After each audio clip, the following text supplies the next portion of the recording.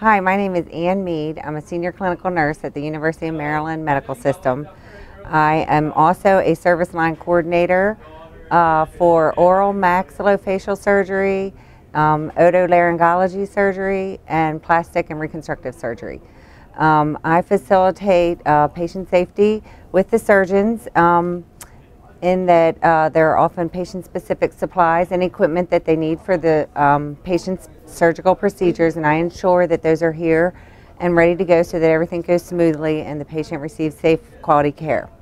I also uh, work with the nurses in the operating room. Um, we have lots of new staff, and they need to be oriented and um, educated to the operating room, and I facilitate um, their education with the um, current staff that are here in the operating rooms.